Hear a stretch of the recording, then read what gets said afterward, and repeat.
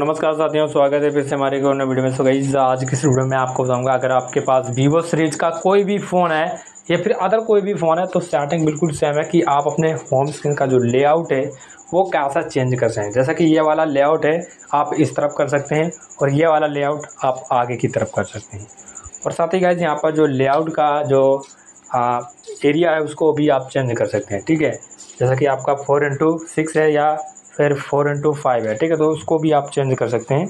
और साथ ही गाइज़ ये आप जो आपका लेआउट है, जैसा कि इधर बड़ा, काफ़ी सारे ऐप्स हैं और इधर ज़्यादा ऐप्स हैं। तो ये वाला आप इधर ला सकते हैं और ये वाला आप इधर कैसे ला सकते हैं, आइए जानते हैं उसके बारे में। जानने से पहले दोस्तों वीडियो को लाइक कर देना है और चैनल पर न्यू सब्सक्राइब कर लीजिएगा। सबसे पहले दोस्तों यहाँ पर लेआउट का लेंथ आपको बता देते हैं, कैसे चेंज करना है। तो उसके लिए आपको लॉन्ग प्रेस करना है और होम स्क्रीन के सेटिंग पर आना है।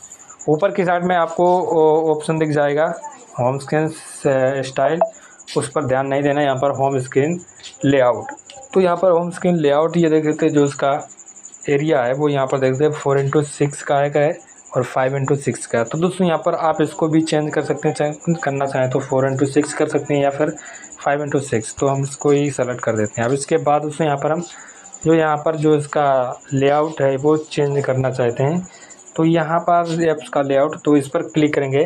अब मान लीजिए कि ये वाला मुझे पीछे करना है, या फिर ये वाला, इसमें काफ़ी सारे ऐप हैं, इसको आगे करना चाहते हैं और इसको पीछे करना चाहते हैं। तो आपको करना क्या है? इस तरह से आपको प्रेस करना है और नीचे, यानी सॉरी यहाँ पर इस तरीके से आपको यहाँ पर प्रेस करना है। ऐसे। अब ये वाला लेआउट आपका इधर चला जाएगा, ये देख सकते हैं। तो यहाँ पर आपको करना क्या है?